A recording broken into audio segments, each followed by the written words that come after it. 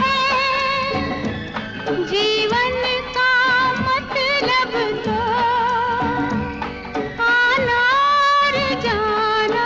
है। पल के जीवन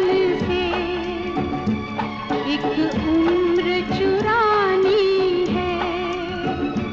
ज़िंदगी और कुछ भी नहीं। कहानी